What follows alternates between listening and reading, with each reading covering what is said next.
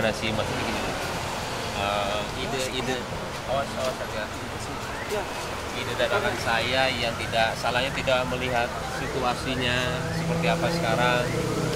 Memang salah ketika kita nonton jika kita ngelakuin saya ya saya melakukan seperti ini ya salah salah banget. Dan memang harusnya lebih peka lagi. Biarkanlah kita belajar ya. Belajar. Memang harus lebih peka sih maksudnya salah sih salah saya. Mudah-mudahan kalian semua juga memaklumi ya. Maafin maafin saya. Mudah-mudahan pelajarannya juga banyak. Bagi orang yang nggak tahu ya antara institusi pemerintah.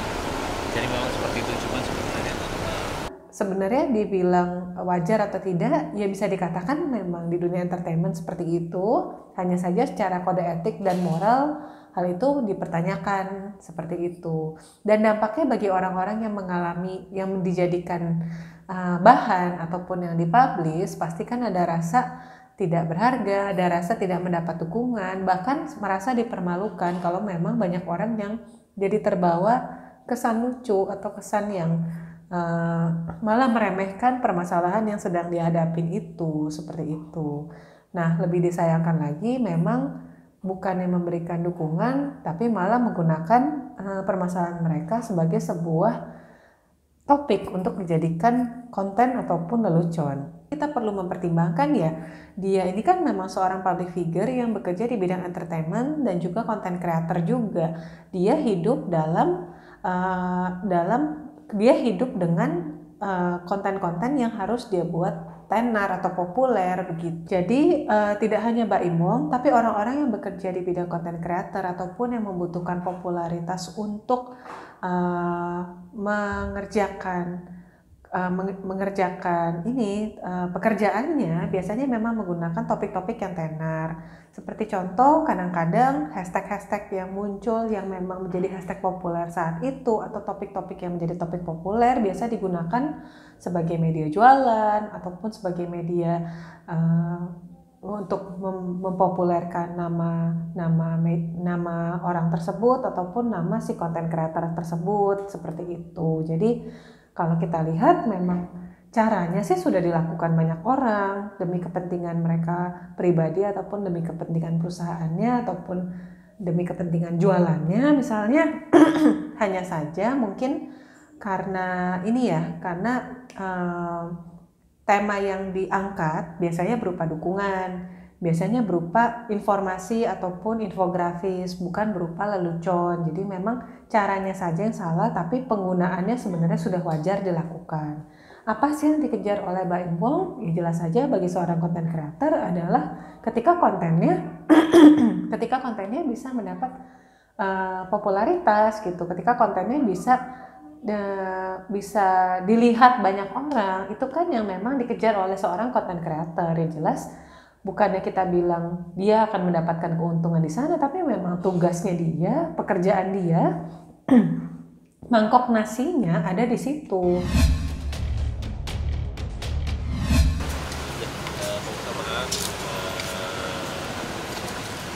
kepolisian yang kemarin kita datengin sebenarnya salahnya kita um, pikirannya kita itu kenal karena memang sering banget saya ke sini uh, dan juga uh, sudah merasa dekat tapi ternyata dari sisi luar kan uh, penglihatannya lain ya beda. Karena ini institusi pemerintah nggak boleh digituin dan memang benar banget mau tadi ke sini tuh mau minta maaf. Saya minta maaf kalau memang uh, salah kita salah. Mungkin uh, introspeksi diri karena memang nggak boleh. Kita harus hargai ini sebagai pemerintah mudah-mudahan juga uh, mengerti cuman bagi yang menegur kita dengan cara yang masing-masing saya nggak apa-apa. Malah memang harus seperti ini ya tolong tegur saya terus. Kalau misalkan saya salah tegur terus. Karena emang saya manusia pikirannya nggak kenapa-napa ternyata ya begini. Cuman tolong tegur terus ya nggak apa-apa. Saya insya Allah malah pengen banget tegur biar belajar terus lah. Ya belajar belajar belajar saya juga mau bilang apa istri saya juga sebenarnya sudah memperingatkan cuman sayanya pribadi uh, yang punya ide kepolisian dia bukannya saya membela kejadiannya seperti itu memang. Semuanya sih sebenarnya balik lagi introspeksi dirinya salah yang salah. Tapi sini saya benar-benar minta maaf nggak lebih nggak kurang mudah-mudahan juga nggak ada pihak yang dirugikan di polisi. Memang salahnya kita sih itu itu aja ya. Dan apakah dia perlu dibawa ke psikolog atau psikiater? Uh, sepertinya sih belum perlu ya karena sejauh ini kan balik lagi dia tidak berusaha untuk melanggar hukum tapi dia memang mencari kesempatan dari tema-tema atau topik-topik yang sedang populer dan dia mencari uh, mencari keuntungan yang di, yang mana memang dia adalah seorang content creator. Dia mencari uh, mencari kesempatan itu uh, sesuai dengan topik-topik yang sedang populer seperti itu. Sekali lagi, banyak orang yang melakukannya, mungkin dengan cara yang berbeda, dan hanya saja caranya aja mungkin perlu dipertimbangkan dengan lebih bijak, seperti itu.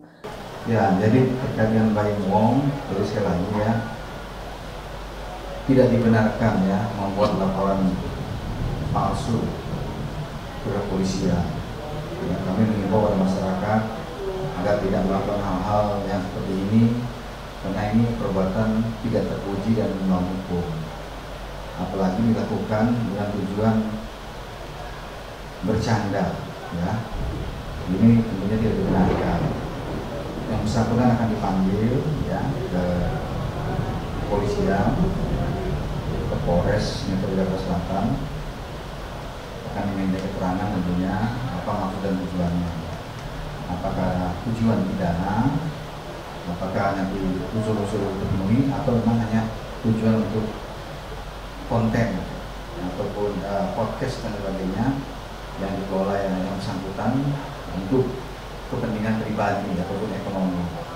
Ya jadi tidak untuk kemungkinan juga kepolisian memberikan ruang kepada yang bersangkutan untuk membicarakan ini dalam rangka nanti mungkin bisa restoratif justice ini adalah sebagai langkah bahwa Polri memang tidak anti kritik ya. kami tidak anti kritik tapi tentunya kami akan meminta pertanggungjawaban yang bersangkutan penjelasan apa maksud dan tujuannya ya. Apabila memang uh, ada maksud lain yang unsur pidananya tidak terpenuhi tentunya kita bisa membuka peluang untuk nanti yang bersangkutan minta maaf ataupun prerogatif justice. Tapi apabila tidak terpenuhi atau terpenuhi unsur pidananya lakukan minta keterangan juga bisa sebaliknya ya.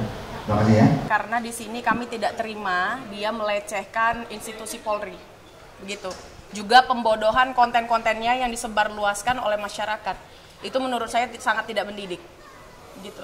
Saya pribadi itu hal konyol gitu. Dan banyak ya bukan ini aja kontennya. Tapi ini karena e, menyentuh institusi yang di mana itu harusnya dihargai sih ultimatum secara pribadi enggak tapi uh, saya sebarkan ada sih konten saya di Instagram saya itu saya mengecam dia. Sudah kita terima laporan polisi dari uh, saudara kita uh, sahabat polisi Indonesia ya. Jadi uh, kejadian yang kemarin yang dilaporkan berupa hanya prank namun demikian dilaporkan oleh sahabat uh, polisi ya ke Polres Jakarta Selatan Kejadiannya adalah di Polsek uh, Kebayoran Baru. Lama. Eh Kebayoran Lama, mohon maaf. Yes. Bentar ya. Yes. Baik. Lanjut nanti bisa dijelaskan oleh pelapor yang uh, ini yang bisa menjelaskan. Oke, hari ini kita melaporkan uh, eh, BW dan istrinya P. Ya, kita dari Sahabat Polisi Indonesia. Kami melaporkan karena apa? Karena di sini terjadi prank atau pembodohan masyarakat sehingga kami harus bertindak untuk memperbaiki uh, nama institusi Polri. Pasal yang kita kenakan yaitu 220 ya. Pasal 220. Ya, 220 karena uh, beliau itu ya, karena beliau itu melaporkan tentang sebuah peristiwa uh, eh, KDRT yang ternyata mereka cukup sadar bahwa itu adalah tidak ada. Dan ini juga menjadi proses pembelajaran buat kita semua sebagai warga masyarakat jangan bermain-main dengan permasalahan hukum apalagi itu dilakukan di kantor polisi itu kan institusi yang memang dibentuk oleh undang-undang jadi kita saling menghormati dan saling menghargai saya rasa.